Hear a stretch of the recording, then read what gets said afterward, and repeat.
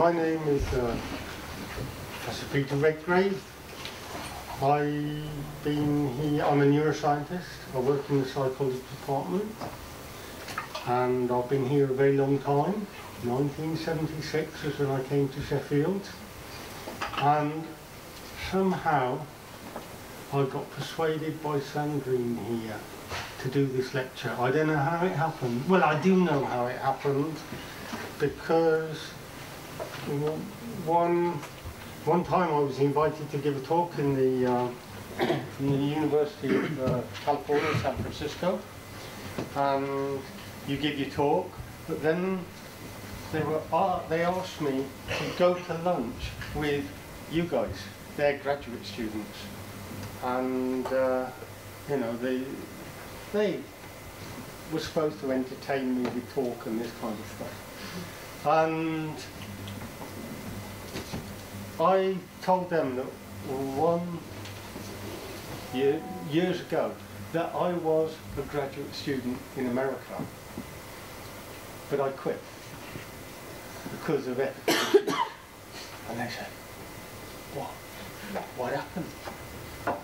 And I told them about the story that I'm going to tell.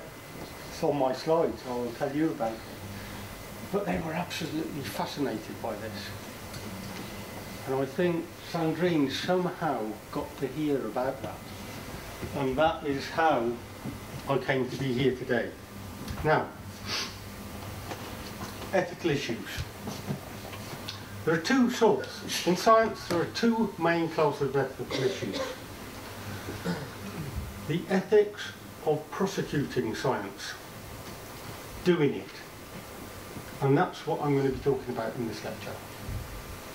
Hypotheses, experiments, get results, interpret the data, present the work for publication, the prosecution of science. But there's also, and I think we should all be very much aware of this, that knowledge is power. And whatever we discover can be used by others for good or ill. And it seems to me quite important, although it's not, I have a few slides at the end um, which addresses this point, but I think it's very important that we do realise the power that we scientists give politicians and the like, and I think we should have an informed opinion on the rights and wrongs of how what we discover are used. So, the plan today, I'm going to talk to you about right and, right and in science. I'm going to talk about the flavours of malpractice. I'm then going to tell you what happened in America, misconduct, and the pressures to be bad, pressures to be good. And then I'm going to give you some practical advice on being good. Right and wrong. Would it were so simple? It's not. They're in all kinds of situations. We're talking about various shades of grey. And we all have to come to a personal decision where our limits are. Look at the quote down the bottom. Show me someone with a perfectly clean record who's able to get anything done. That's a, that's a pernicious attitude. But it's quite common out there. So, why can't we all be completely honest? Because there's all kinds of conflicts of interest. It's what we have to do is to behave as honestly as we possibly can. It's, it's really hard. Even when you are doing your absolute best to play it straight, your unconscious will be playing games with you. In psychology, this is known as the experimenter effect. People it, it's been shown in studies that if people expect or want a particular outcome to their experiment, somehow it gets nudged that way. And it is for that reason that the, the pharmaceutical companies have, uh, and also pharmacology um, investigations in universities, they use double blind procedures. So the person giving the drug doesn't know what drug they are giving, and the person receiving the drug doesn't know what they're receiving. When you analyze data, it is often really good not to know from which groups the data come from, just simply to avoid unconscious experimental bias. So you're doing it level best to do it straight and unconsciously, and this is why people bring in these procedures. However, it is really, there are all kinds of conflicts of interest that I'm going to be talking about. Um, here it says the experience of life is that small breaches of honesty, it's like a wedge of cheese, it's a slippery slope. If you're a little bit dishonest here, it's kind of easier to be a little bit dishonest the next time. And if you're dishonest about a little thing, next time it's a little bit easier to be dishonest about a medium sized thing, and so on.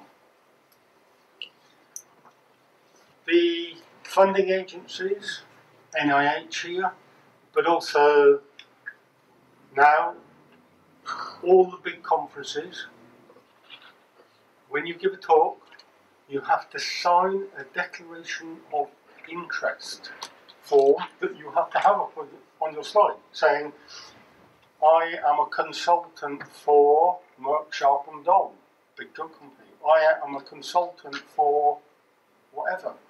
I am getting money from these people. So that the audience knows where there may be some little biases creeping in. So the idea here is that wherever conflicts of interest, I don't know whether you can read this, but it is a wonderful cartoon here. It says the conflict of interest statement. The senior author's promotion and the first author's job depend on this study. It's true. We will see. It's true.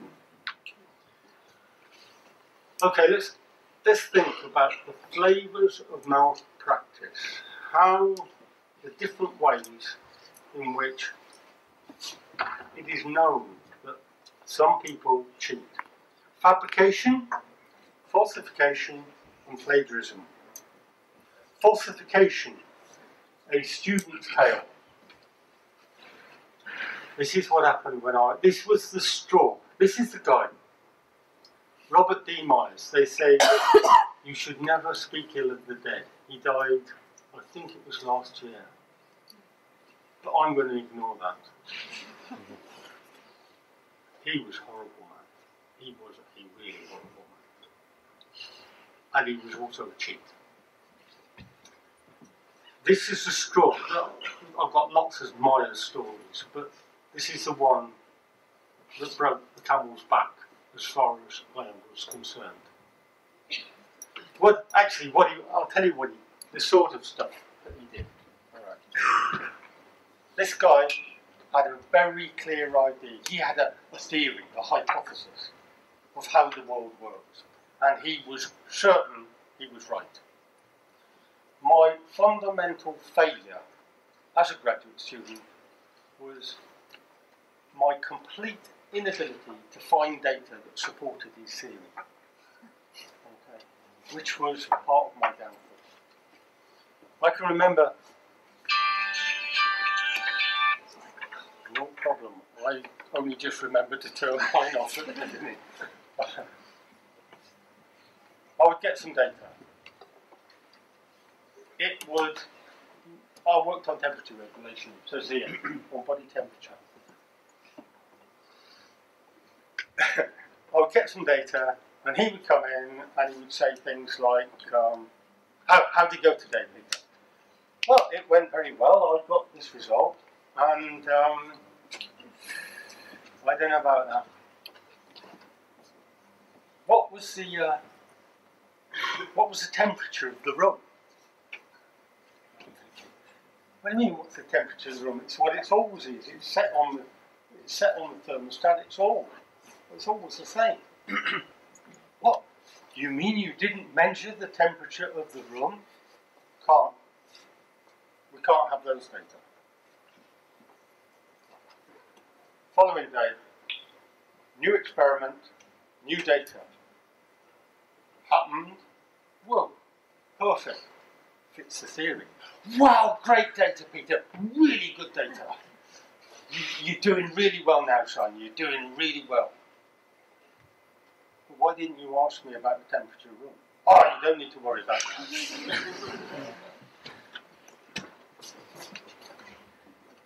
I've got some slides. Cherry picking the data, that's called. Okay. What I was young, I was naive. I'm working on body temperature. The baseline is falling. How stupid of what I was. I should have waited it to start coming back up or to level out or whatever, but I made the injection here. And that's what I got. Okay. He came in and said, I tell you what, how much better would it be if we moved the point of the injection site? Little, tiny, you know, the effect was big. It almost certainly did cause a fall in body temperature. And I thought, sorry, I'm out here. And I quit. Had to come. It was really tricky because this guy was a major figure. I was your age. And obviously you couldn't ask, I'd been there two years, I couldn't ask, ask him for a reference. What the hell do you do? When you get into a situation you, you've got a two year gap that you can't account for. I went, I went, I was working in Bob Myers's lab and uh, yeah, yeah, well, how did you do there? Can I contact him? Well, actually, I'd rather you didn't. I had to go back to the university where I did my undergraduate work, where they knew that I was okay, and I was able to get my PhD there. And I only had two years to do it, and I did it. So, that is falsification, a student's tale. I came here 1976 and I was a young guy. This would never happen now. But I was, I had a friend in one of the big drug companies, and he asked if one of the guys that worked in his lab could come and work here in Sheffield, do a PhD with me. His name was Russell. Russell came and Russell was fully trained. He'd worked in a drug company for something like 10 years or so, so he knew all the techniques. okay? All he needed to do is do the work. And this is the bit that would never happen now. I would ask Russell, how's it going? Russell say, great, really well, really good. And oh, the animals, they all did this and it, it's going really well. Good project. Just like, you know. And I didn't inquire in detail any further. He wrote up his PhD on one of the chapters. Now, you, have to think about this, all right? In the method section, subjects 37 males and 25 females. The purpose of the experiment was to see if drug X, doesn't matter what it is, would suppress the behaviour evoked by another drug called apomorphine. When you give rats this second drug, apomorphine, it elicits two responses. Yawning and grooming the penis. That's what it does. Okay, I'm sorry. That's what the drug does. And that was that's what you measured. How much of the two behaviours you've got. Then the examiner he, go, went into the, he went into the viva and the examiner was just waiting for his question. So you ran your subjects in pairs then? Just think about it. He failed outright because the whole lot had been fabricated. He'd made up the whole data. Or the, a large part of this data set he'd made up. Um, with police interviews, right? They suspect a criminal. No, I'm not. Examiners are, are actually testing the same thing. What the police do is ask you, if you're a suspect, to go over the details of your alibi over and over again. Because if you're telling lies, it's ever so difficult to keep the story completely straight. That is why, in your viva, the examiners may very well ask very detailed questions of method. How did you do the data? How did, how did you actually do that experiment? what volume of whatever it is did you use? What concentration did you use? Because it, if somebody, you have to be on top. If you did it, you would be on top of that material. And one of the one of the questions that as an examiner, one of the, how much of the what I'm reading in the thesis did the student actually do? And that's why they ask those kinds of questions. Russell failed outright. That was it. That's just a, a small guy at the university.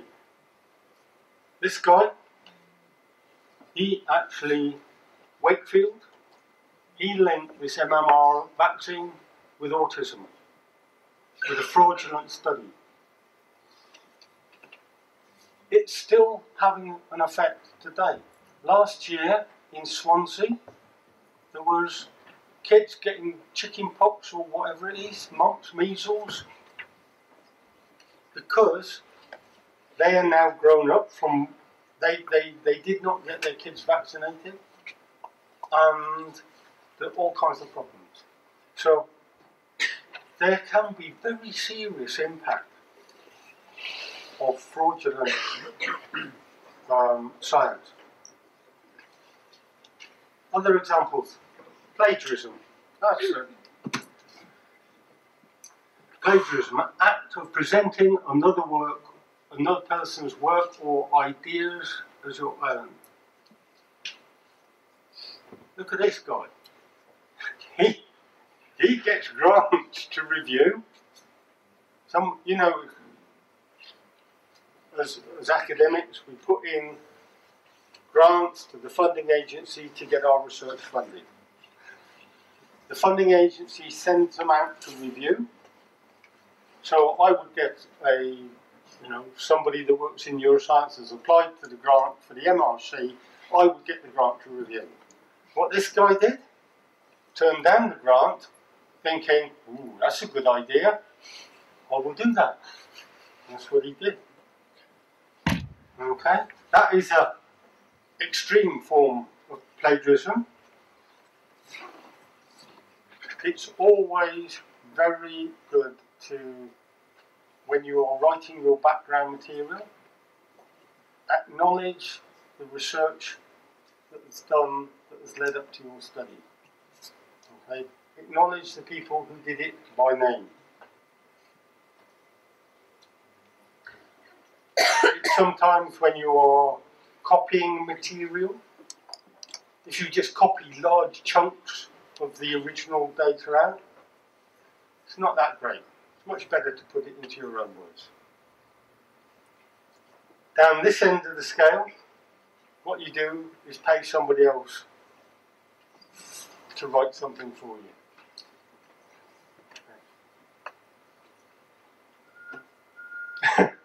Has it occurred to you where I'm getting all this material from? The World Wide Web is an amazing place. It just makes preparing lectures and, and talks like this so much easier now.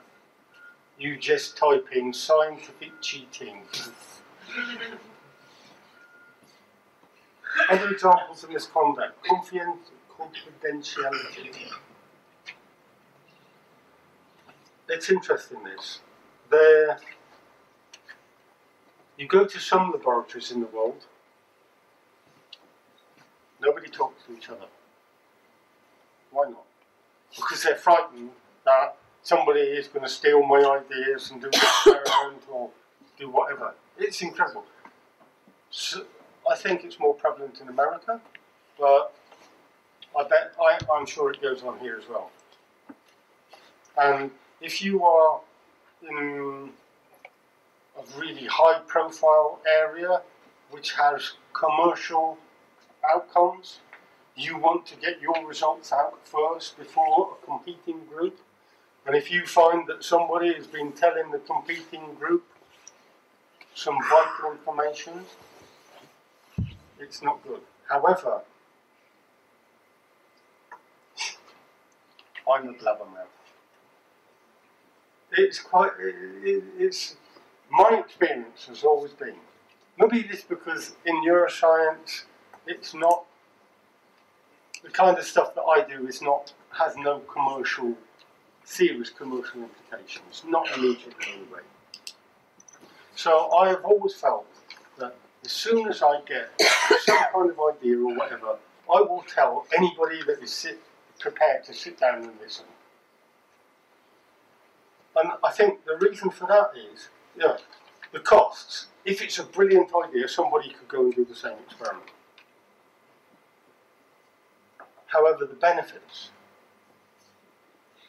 if it's a bad idea, or if somebody knows of some data that will support your idea, it starts to become more collaborative and you can get a lot of very good ideas from other people you tell about your work but even more important, if it's a crap idea, they can say, you know what you just said?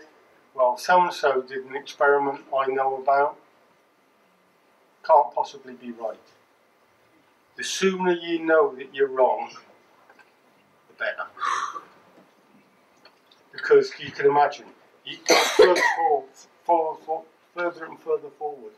So you're standing up at a big fancy international meeting and you say, oh, this is my hypothesis or this is my theory, blah, blah, blah.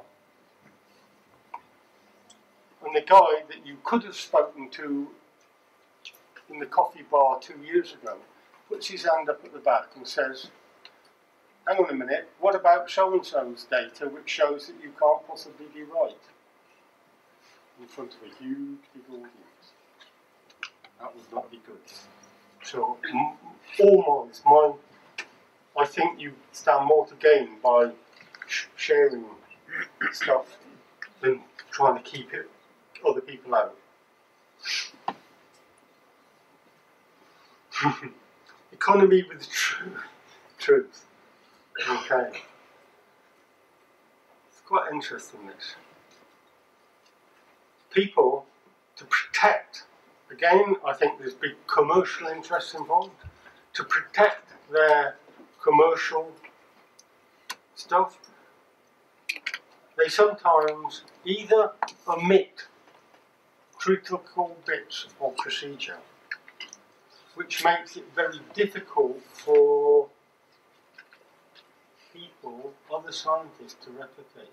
And quite frankly, what sets science out as the best game in town for understanding how the world works is that if you do something and somebody does enough the same as you, they will get the same result. So, in principle, everything that you do must essentially be able to be replicated and extended by other people. To prevent that, people are sometimes economical with the truth. They don't tell the whole story. This is what I was saying a little bit uh, about earlier. This is a very case. I'm not going to. This is a very famous case. Is this going to be up on Mole? Okay, so you can you can you can have a look at this. Basically, Watson and Crick got the Nobel Prize for discovering or identifying the structure of the double helix. They didn't do any experimental work. Rosalind Franklin did a whole stack of fundamental experimental findings that Watson and Crick put together. Dr. Franklin's results, which they obtained without her knowledge from an unpublished report she had written for her research director. No mention of Franklin's key contributions occurs in their nature paper. Uh, bad, eh?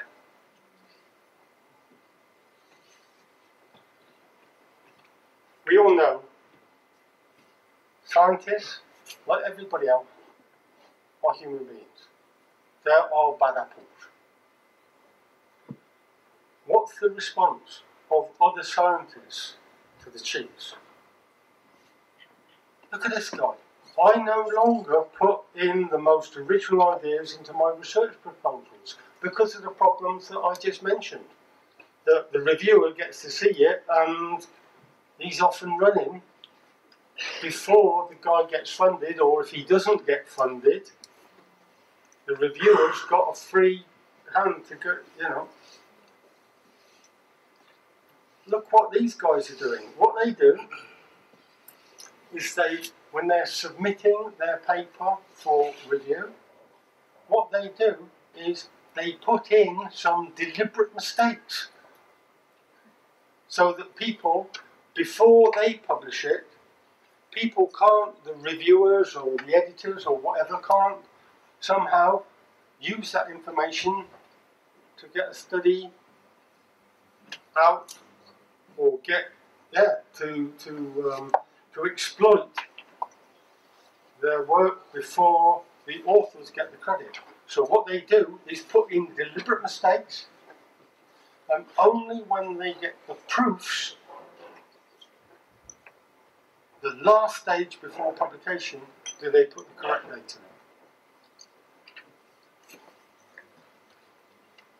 I'm afraid signs, and this is because we will see the pressures to be bad.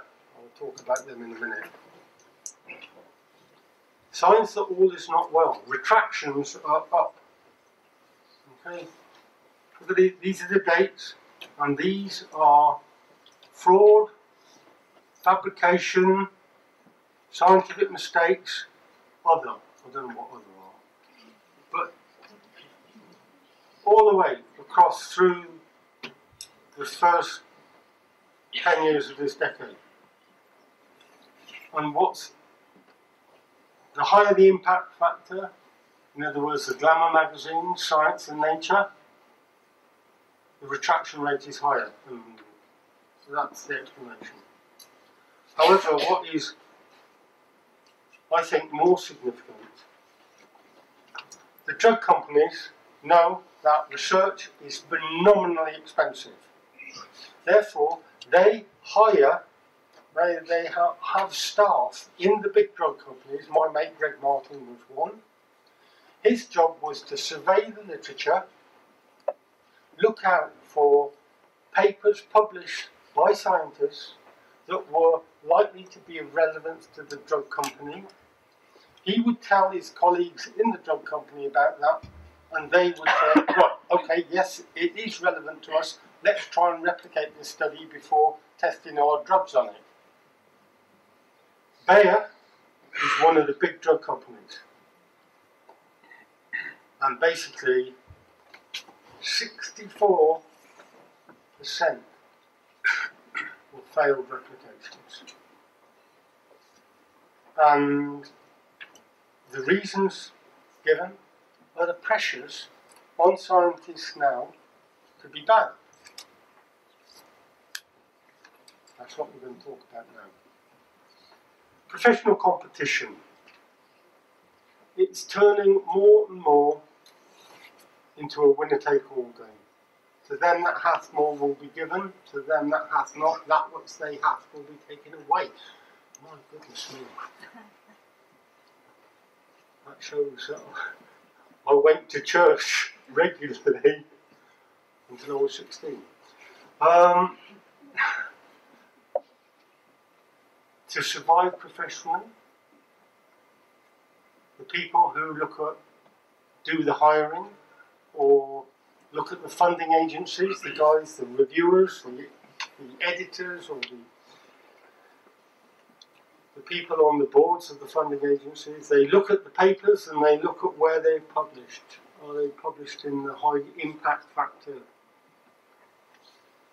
And quite frankly, to get an academic position now, certainly in the top universities, papers published in Science, Nature, in my area, Neuron, Nature Neuroscience. If you haven't got papers published in those journals, it's much harder to get an interview than if you have. Another, why has this happened? Look how many there are. There's hundreds of you. when I, back in 70s when I was doing, the new people coming in would be maybe 10, 20. Each department would have a handful of new year one postgrads. 73, more than 50% of biologists had 10, tenure track job academic positions within six years of getting a PhD. By 2006, the figure was down to 15%. My advice, my strong advice, however good you think you are, have a plan B. Seriously.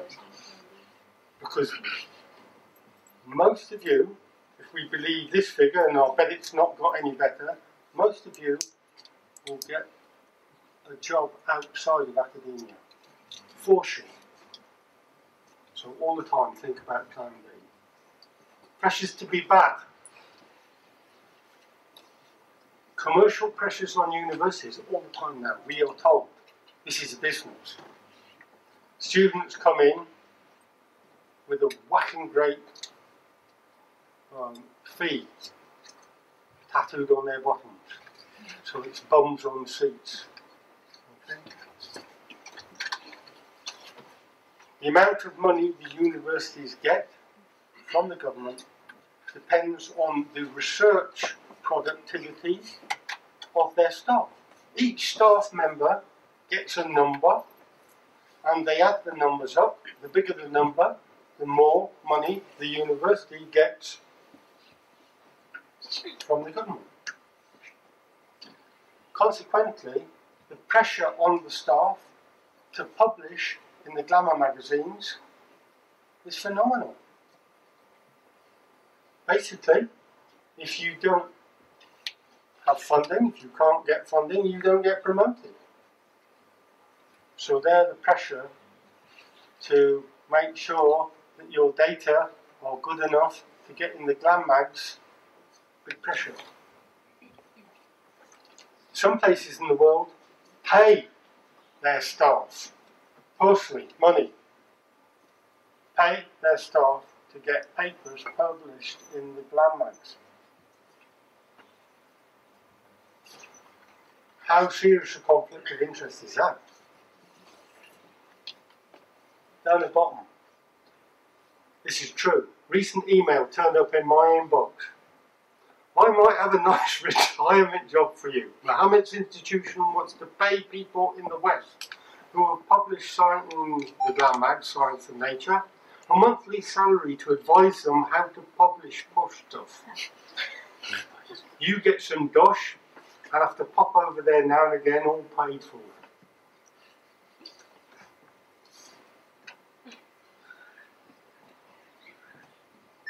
How do you get, in, in a crowded world of science, how do you get your results noticed by anybody else? I mean, I go to the SFN, so the Society of Neuroscience in America, it's the, it's the World Neuroscience Meeting. There are 30,000 participants. More than turn up at Sheffield Wednesday football. It's incredible. Posters, posters, posters, thousands of them. I don't know, you know, 12, 15,000 posters. How the hell do you get anybody to look at yours? Your marketing, your selling. You tend the pressure to put the best possible spin on what you've got is is um, is quite intense. And so the implication of that, you often see in people's results section. This is a representative result. Path. More likely to be the best.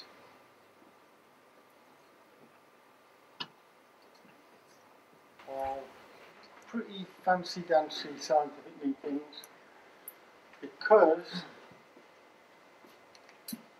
in my area there was a big, big theory. It's so big, you might even have read it about it in the newspapers. The neurotransmitter dopamine equals reward. Whenever you do something that you like doing, there is dopamine squirting out in your brains. In 1999, I published a paper, a review paper in Trends of Neuroscience that questioned that view. I questioned the data on which that view was founded. And you have to realise that scientists are just like kids in the playground. What happens in the playground when there's a fight? Everybody gathers around. They want. So it's not a bad strategy. If you, if there's one really big guy, big theory, and you think you found something wrong with it, whoa, that is a that is a, a career opportunity. Go for it because it's true. They they have invited me to these conferences with the big guys, and I they like to see a little scrap. However.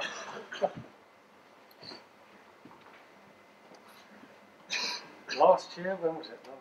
13, yeah, 2013. Actually, it was 2012. I was in Japan, and this guy, I was doing no harm to nobody. And this guy came into the lab and says, Pete,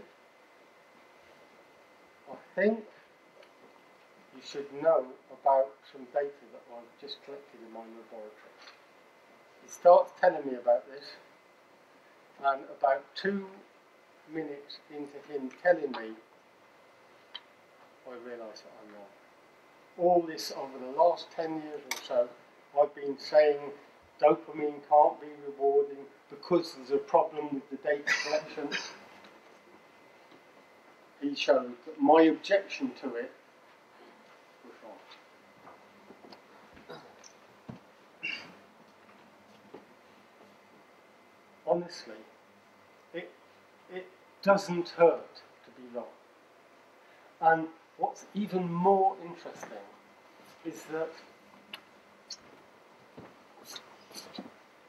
these are the slides that I now present in my talk. When I go out and give talks, these are the slides. Okay? When I come up to this slide, you, are, you don't need to read what's on the slide, but you need red indicates a shift or modification of position. This is the bit that needs to be revised. Hold your ideas lightly because you never know when you have to put them down. Again, some revision is required. Be prepared to change your mind in the face of new evidence. I put these slides up at these big meetings.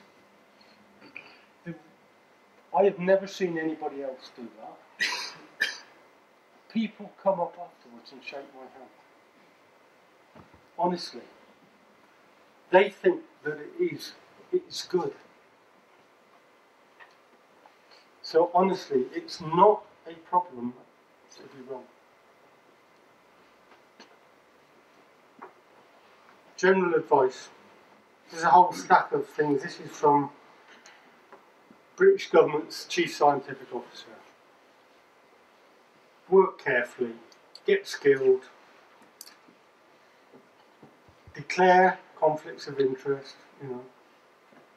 Acknowledge the work of others. Don't don't plagiarize. and ensure your result your, your research doesn't break the law. Generally minimise the impact on people, animals and the environment. That's a good one. This is the point that I made at the beginning. Discuss issues. Discuss. Be prepared to have an opinion of how your, what are the implications for everybody of your results. And don't cheat. To which I would add a few little points as well. Keep good notebooks. Really keep good notebooks because when you come to try and analyse your data and all this kind of stuff, and you can't quite remember exactly what you did, that is the perfect place where unintentional experimental bias can kick in. But if you've got it written down exactly what you did, it's much better. Don't quit while you're ahead quit when you're confident that you really understand what's going on. Make sure you know about statistics. And if you don't know about them, get the help of somebody that does. Don't cherry pick, don't be economical with the truth. Be generous with authorship. If somebody has contributed to the study, put them mind. I have fallen foul of this myself, where I just I realised way too late that a colleague of mine had provided some really important photographs for this study that I published, and I'd forgotten that he had given me those photographs, and that was 30 years ago, and he still reminds me about it. So, previous work. Know the previous work. And be a good, good lab citizen. Generous with time, advice, access to facilities. If you do all of these things, trust me, you will be happier than if you don't.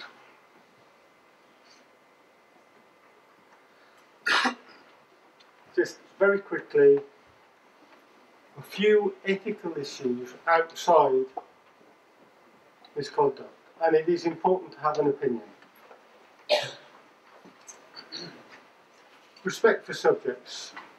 If you work with people or animals, well, we'll come to the animals in a minute. There are people with diminished autonomy. Don't exploit them. Informed consent. This is an incredible example.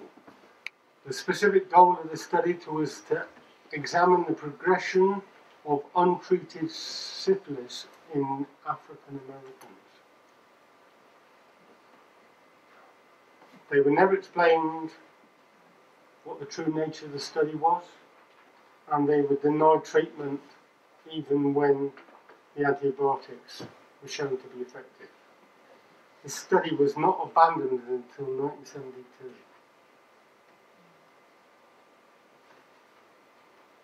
Don't do research in the third world that will only benefit the first world. That's nasty. It's actually important if if you find people cheating, breaking the law, whatever, you actually do have an obligation to blow them aside. Big ethical issue for me is the animal experiments. A lot of what we do in neuroscience involves animal experiments. The guidelines is very tightly regulated by the Home Office, whose general mission is to replace, refine and reduce. My personal example, or my personal view on this, is that there are two bad things that cause suffering. Human diseases and animal experiments. And the world so far is arranged that you cannot avoid both of them. If you why if you avoid one, you necessarily buy into the other. So it's just to a question of what do you find more morally offensive, human disease or animal experiments? You have to choose one. Um, for me, I don't even measure them on the same scale. There's all kinds of weird contemporary ethical stuff, genetic engineering, cloning, stem cell, virus research, whole stack of stuff. So, ethical issues are not other people's problems. They are everybody's problems. Thank you for your attention.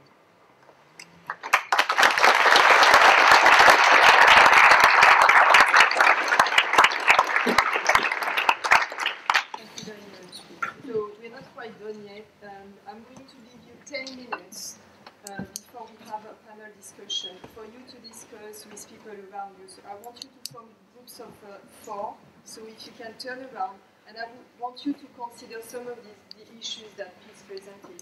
And what is your, uh, your own experience at the moment? I mean, most of you will just starting uh, project. What is your own experience of some of these ethical issues or research practice issues, you know, what are the things that you may pick up from the presentation that you want to discuss and, and ask the panel? Okay.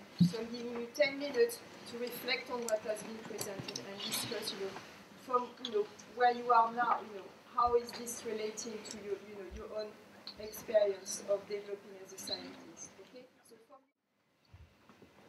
that's from How many think? How many people think that today's lecture wasn't relevant to them? Not relevant. Can you tell me why? Tell me why. Um, because I don't work with any data. All the work that I do is theoretical. So I and, and, has no consequence at all for the public. Um, I don't understand yet what consequences it has. I just started. So you don't think about what consequences it has? Well, I do think about it. I just don't understand what consequences it has. trying to figure it out. And you're going to be writing as a sole author in, in when you write. Sorry? You're going to be writing as a sole author when you write your papers up, um, I'm assuming I won't be.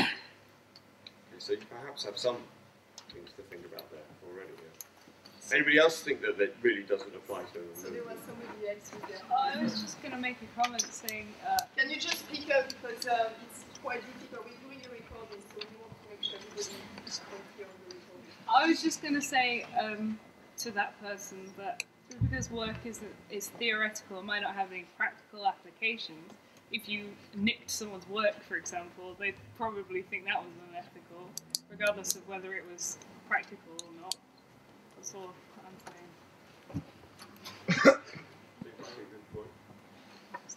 Anybody else want to profess that ethics is not relevant?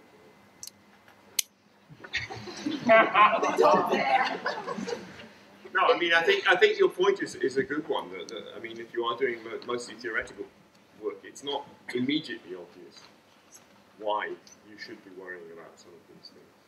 I think you've heard from perhaps from some of the, re- the replies that actually there, there will come a point at which it does become relevant. I uh, mean, Elena, can you, uh, I mean, from the point of view of you know, being a mathematician doing ethics, uh, physics, you know, how is all of this relevant to people who do very good theoretical research? Yeah, it, it's true that there is less, there are fewer things that actually constrain you in ethical terms if you're doing mostly theoretical work. Numbers don't need much protection, symbols hmm. don't need much protection, but all the things about publication, ethics, collegiality. You're here mixing with other postgraduates, you might hear things which, which you ought to be act whistleblower on.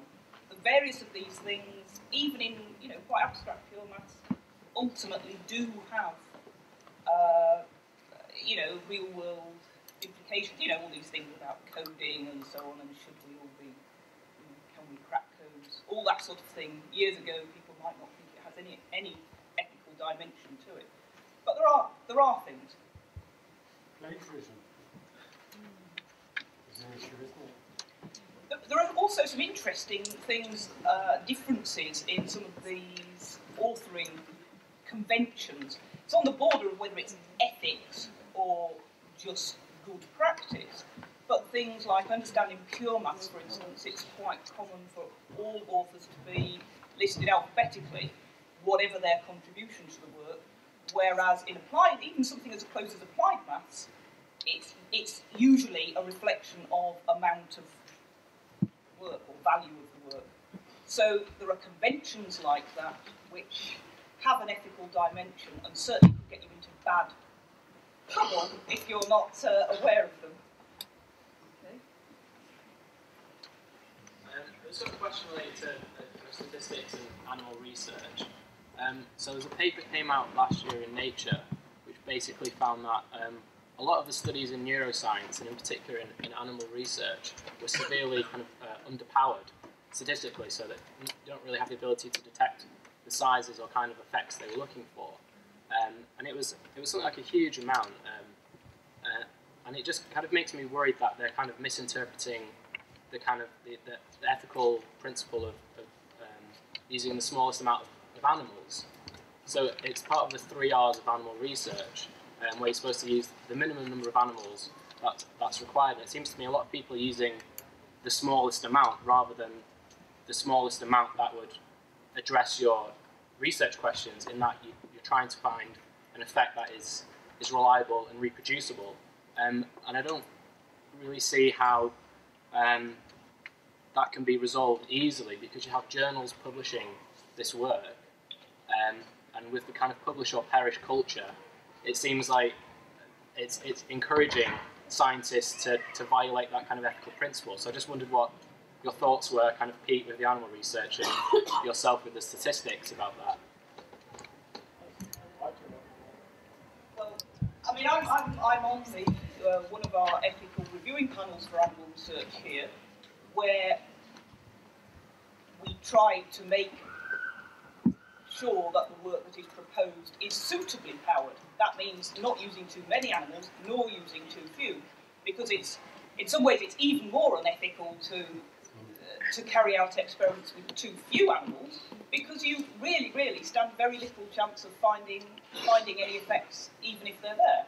So, I mean, at least for animals, it is protected by Home Office guidelines. They, like humans, have some legal protection, but it is still sadly true that the level of scrutiny is probably insufficient to stop these problems. I mean, at least at the publication level with human medical trials, most in most of the reputable, the mainstream journals, the big journals, the Lancet, the New England Journal, and so on, they have statistical scrutiny of the methods. That is coming in animal-related research, but it's it's not uniform yet. And it will be coming in other areas as well. This is something I wanted to bring out today. But those of you doing experiments that are not on people or animals, think you're exempt from these conditions of making experiments efficient. It's not true. I mean, even if all you are wasting is your time and somebody's money, it's un- unethical to do that. Taxpayers' money. actually. Taxpayers, A lot of my various people's money, and money that could be better spent. It's the same with failing to write things up. That's another thing that would apply to the pure mathematicians as well. Or being too slow. It's you need to be slow enough to be careful, but you don't. You shouldn't be failing to report research. It is your ethical duty to carry through the whole process, right through to publication, even if that's publishing a sort of negative result. It hasn't demonstrated what you what you hoped. It's still worth other people knowing that because it's it stops them wasting their time and doing the same thing again.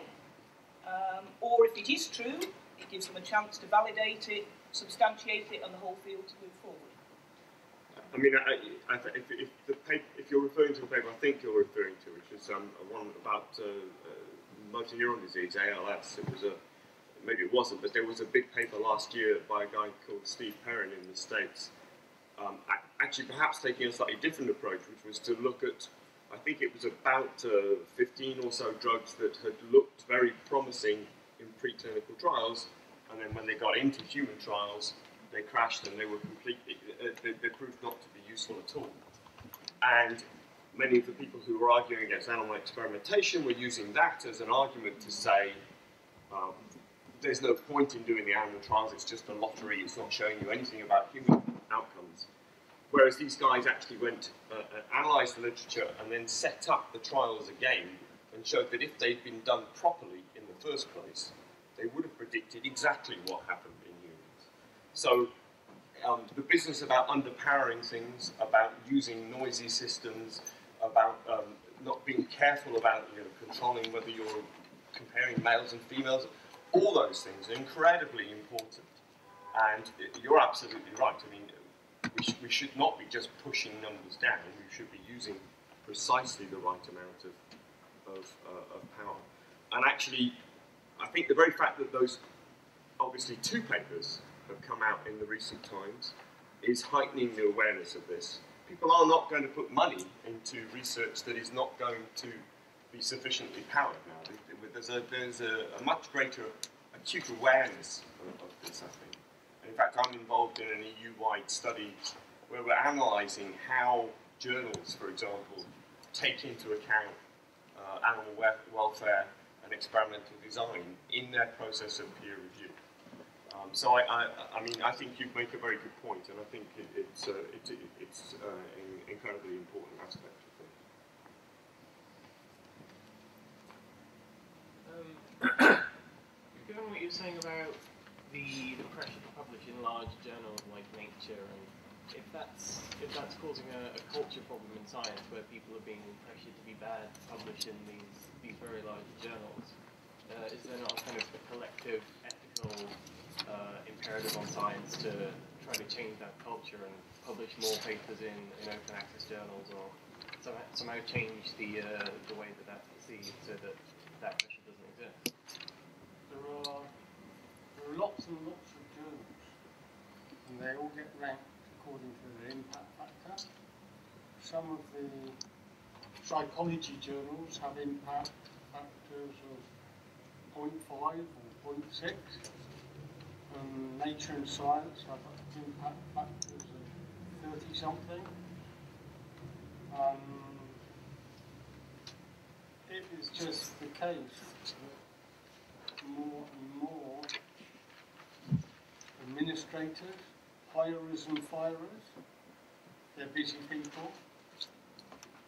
If you have papers published in the glamour magazines, it makes their job easier. And that's, that's what happens.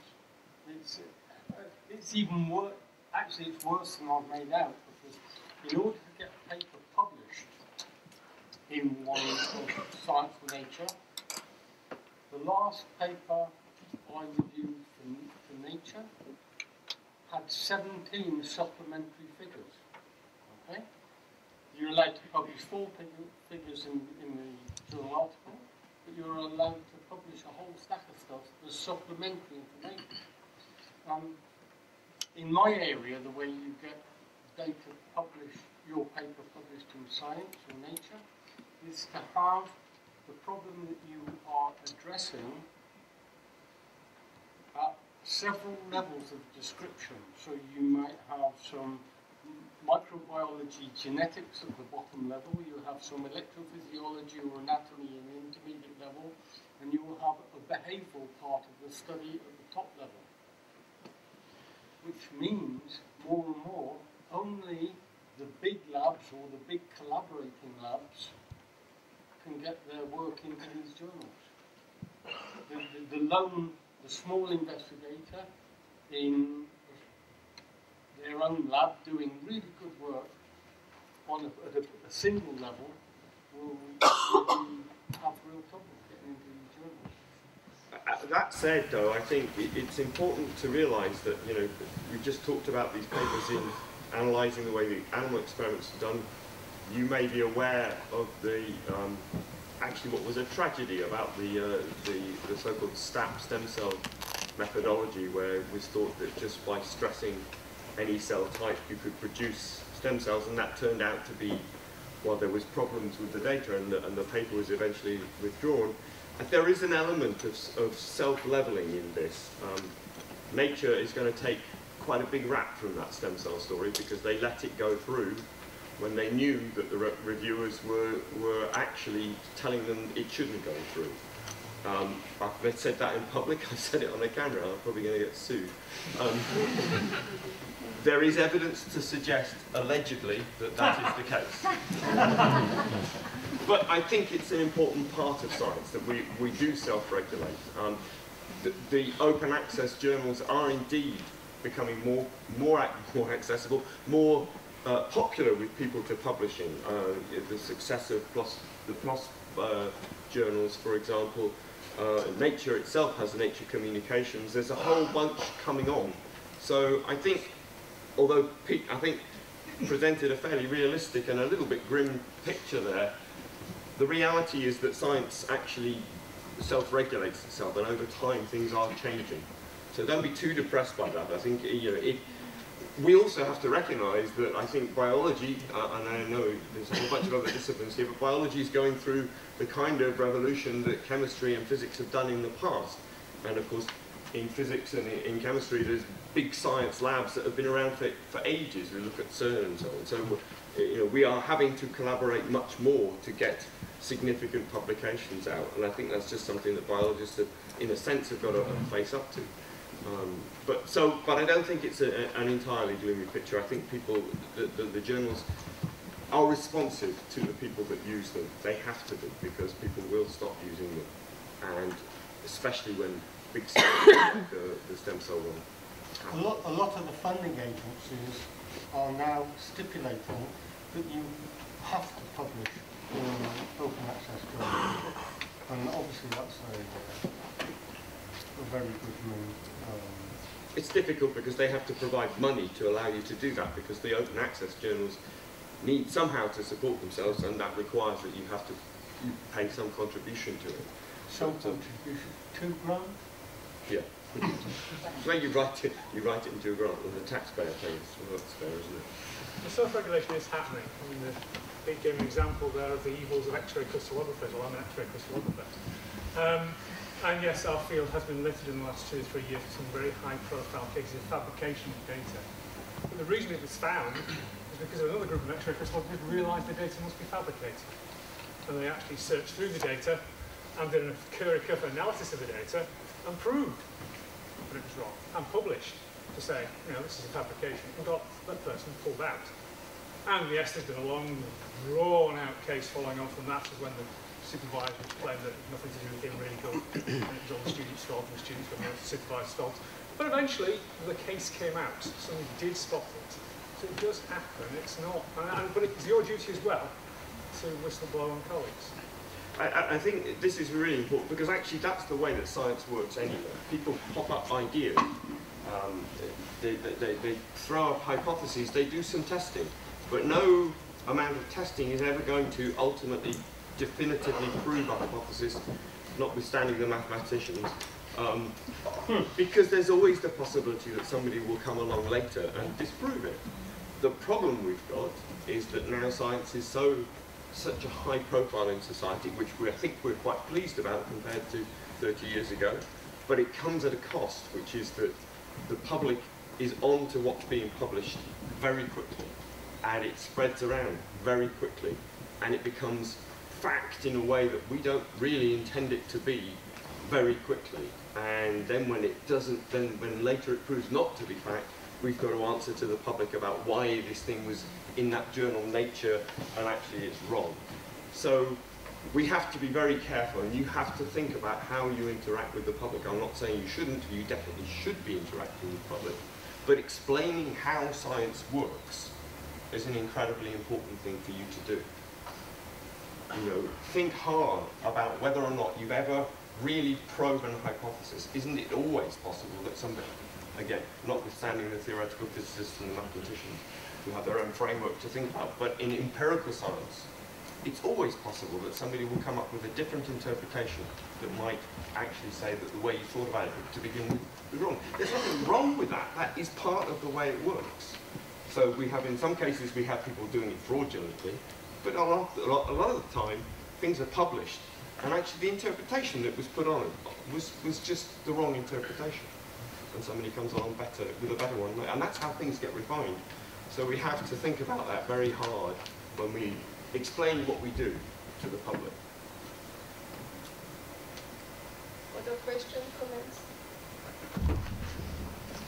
Um, so for the first time, the EU and the World Health Organization are ensuring that all clinical trial data are published by drug companies, um, regardless of whether the drugs went to market or not. Um, in basic and translational research, should we be aiming to um, make negative data statistically significant so we can publish it? Um, and is there any stigma against people who publish negative data? Uh, well, there is.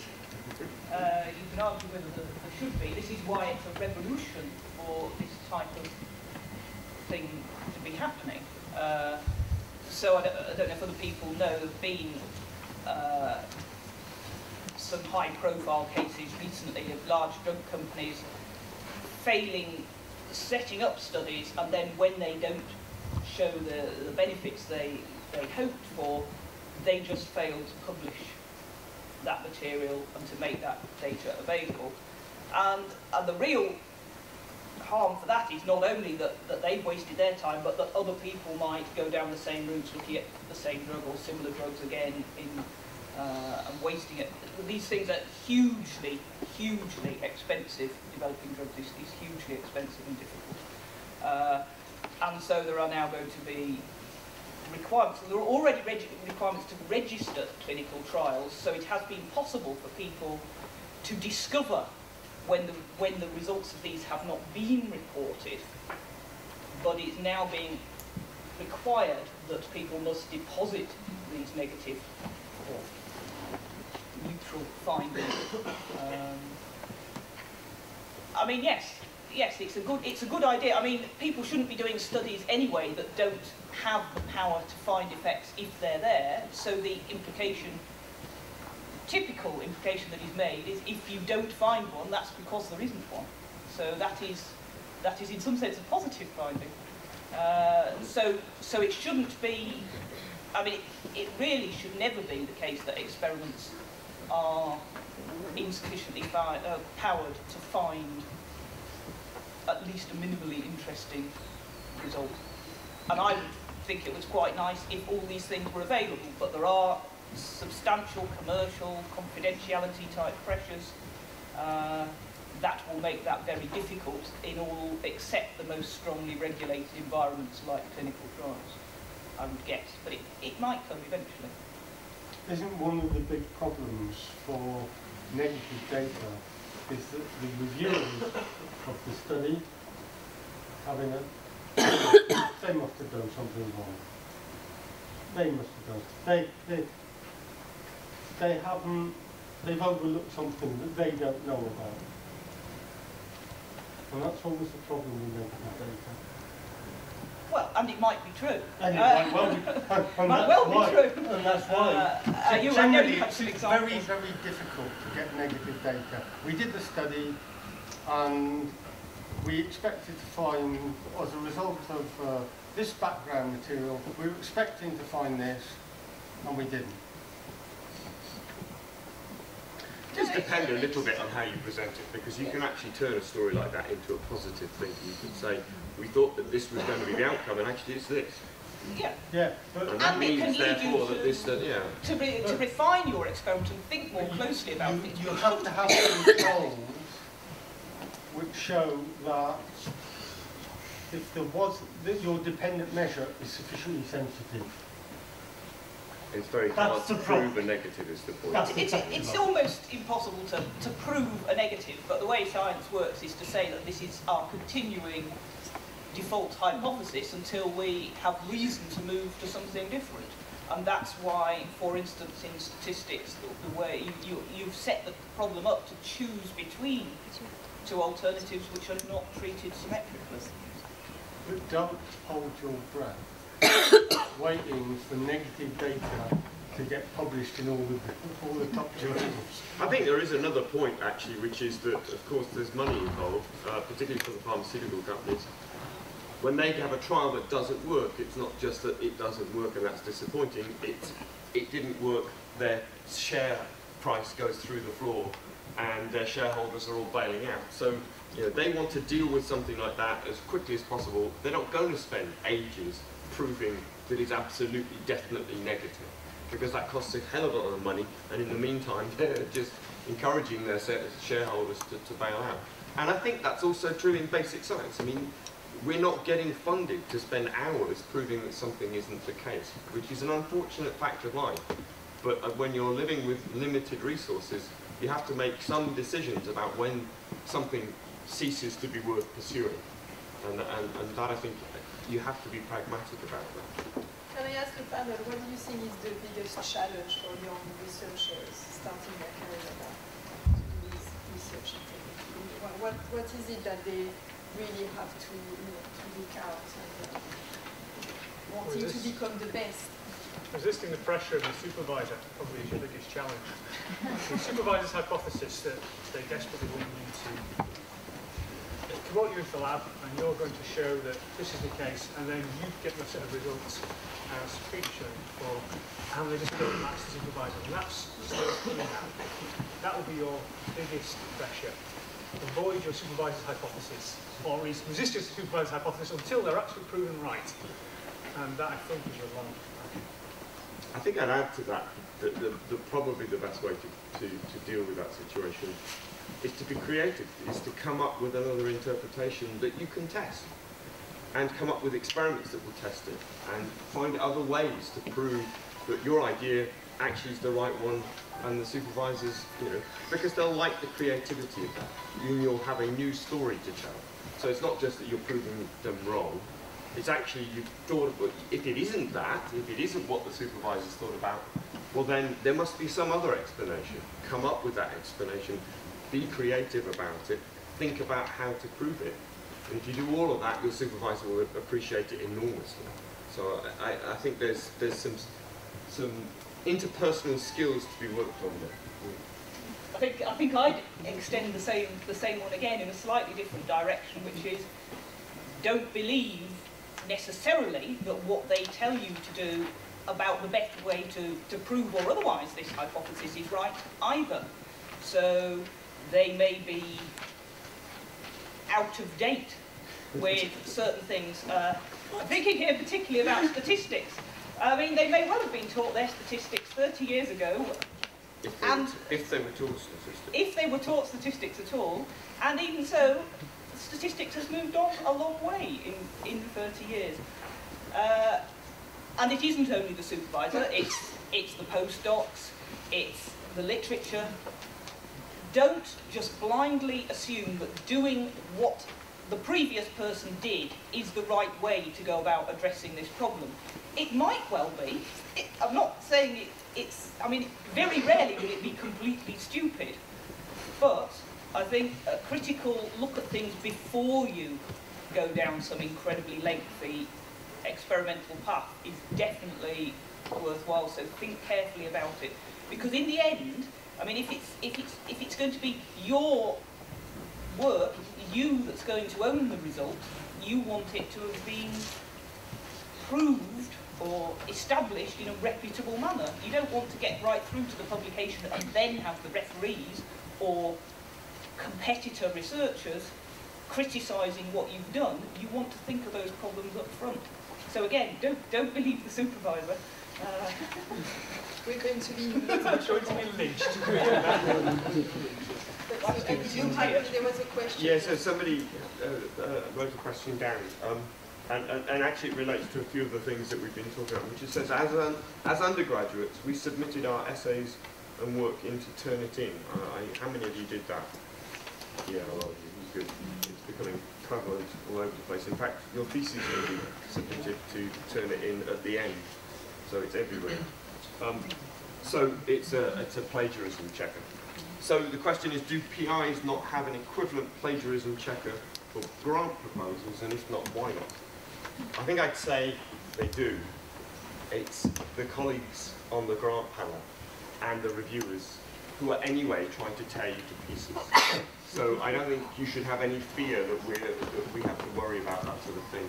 I think it's something that, that happens, a grant panel particularly, because the, the competition for money is so high that uh, people will find every excuse to take you to pieces. And if it's uh, and you're being, you know, your work is being presented to uh, other experts in your field who will know what the field has said.